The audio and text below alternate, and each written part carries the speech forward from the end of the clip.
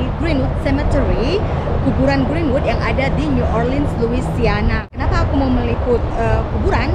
Karena pertama aku suka lihat kuburan yang cantik-cantik dan yang kedua ada yang khusus dari kuburan yang ada di New Orleans. Nah, karena New Orleans ini sering kena badai dan sering banjir jadinya sehingga uh, kuburannya itu biasanya ngambang, peti-petinya itu juga ngambang. Nah, ada trik khusus supaya um, peti-petinya itu tetap stay di tempat. Ikutin aku terus, jangan ke mana-mana.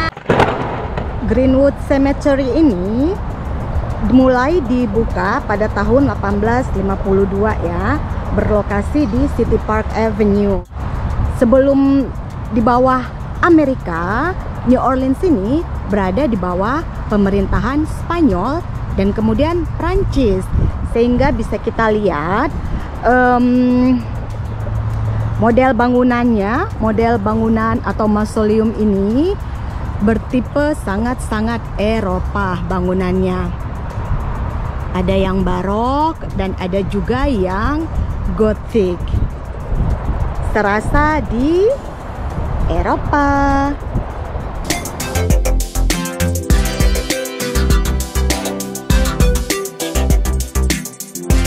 banyak banget di sini monumen-monumen yang cantik-cantik ya, yang artistik.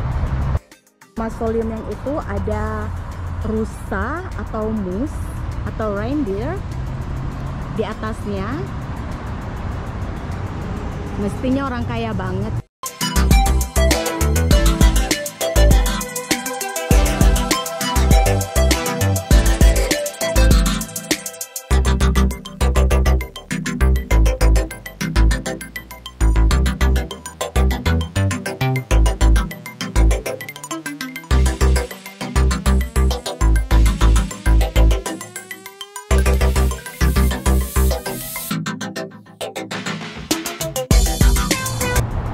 Kalau yang ini kuburannya keluarga Fitzpatrick.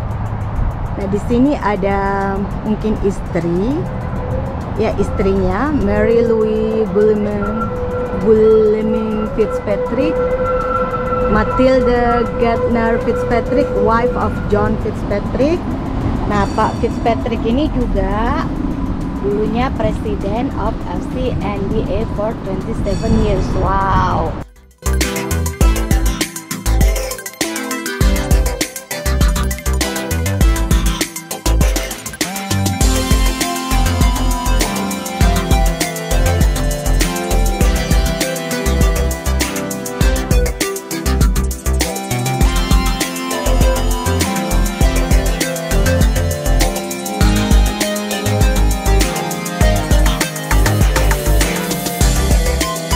Pemakaman di New Orleans banyak mengikuti gaya Eropa, di mana jenazah disimpan di dalam mausoleum atau di dalam bangunan kuburan dan tidak dimakamkan.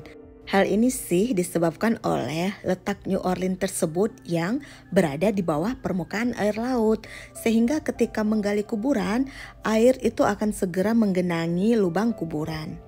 Selain itu, New Orleans juga berlokasi di Teluk Meksiko yang rentan banjir dan badai. Dulunya sih kalau banjir dan air menggenangi kuburan, peti-peti ini akan terangkat ke permukaan.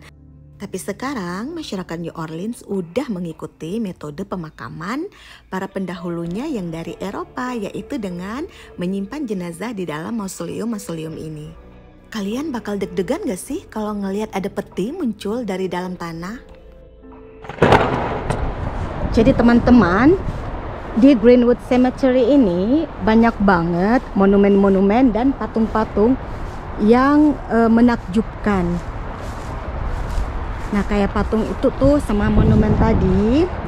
Nah, kebanyakan yang dimakamkan di sini adalah prajurit yang gugur dalam Perang Dunia Kedua maupun veterannya, juga orang-orang penting yang pernah ada di New Orleans. Misal nih, ada penulis, ada pemusik, ada gubernur, ada hakim, ada pemain football, dan banyak orang penting lainnya. Jadi, karena ini mausoleum, satu ruang bisa dikubur sekeluarga. banyak makam yang kena dampak badai Katrina tahun 2005 lalu rusak parah. Ada yang uh, dibangun kembali, kelihatan ya kayak ada yang baru-baru tuh kayak yang sebelah sana.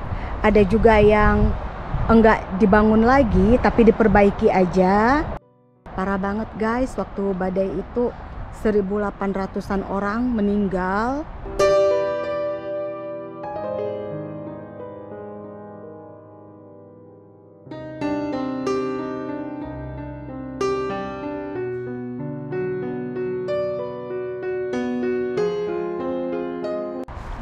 Kuburannya kelihatan baru ya, baru dibangun kembali setelah uh, badai.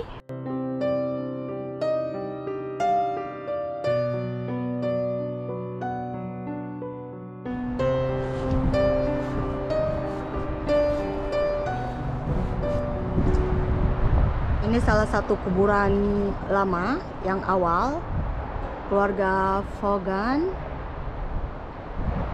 tahun 18-an meninggalnya.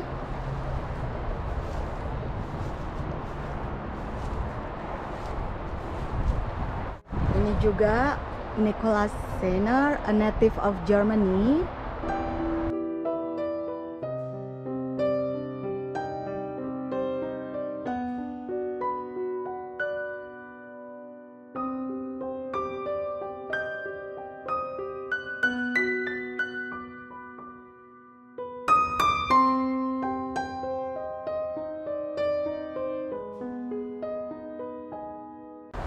Nah ini ada tulisan close forever. Kelihatan gak sih? Mungkin seluruh keluarganya udah meninggal ya. Jadi semuanya udah menyatu di dalam makam ini. Gak ada lagi keturunan lainnya.